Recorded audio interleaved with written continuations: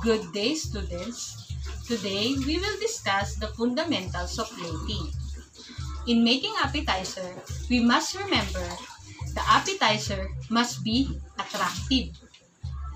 There are guidelines that needs to be followed to make the appetizer attractive. The balance, the portion, and the arrangement of plate. To make the appetizer more attractive, we must consider the portion. In this plate, there are four crackers that can be put in this plate.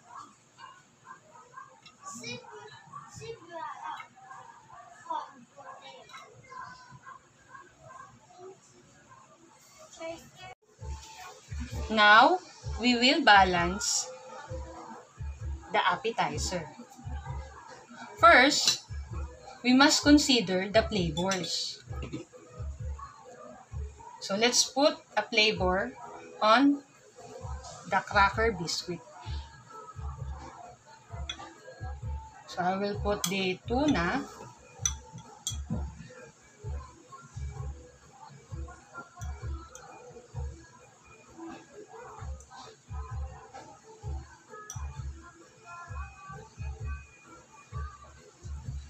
And we'll put the cheese.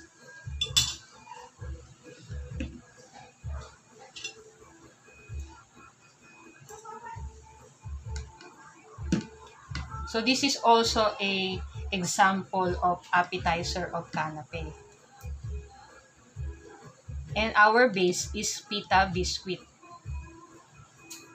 So in our previous lesson, uh, canapé can be based as a bread and cracker biscuit. We have to prepare quickly the appetizer because in balance, the texture must be preserved to serve a good quality of appetizer. So in balance also, we must consider the shapes. So the shapes must have two or more variety. So I will put now the garnish. So we have two shapes in our appetizer.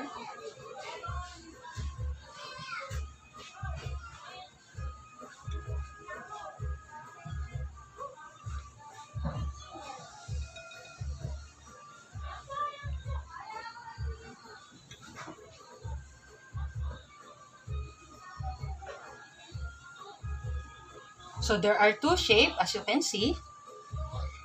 And there are two or more colors in our appetizer.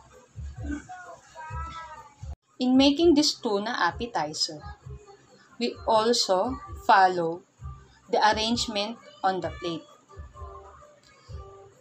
So in arrangement of the plate, we have to make it simple and clear. Okay, let's have a recap in fundamentals of plating. So the guidelines that we need to follow are the balance, portion, arrangement of the plate. In balance, color are also considered. There are two or more colors in the plate as we can see in this example. Shape are also considered. There are variety of shapes in our appetizer texture. So meaning texture, we have to preserve, we have to serve this quickly. Flavors. So uh, this is also a guidelines. Next is the portion. We match the portion of the size and plate. Arrangement on the plate.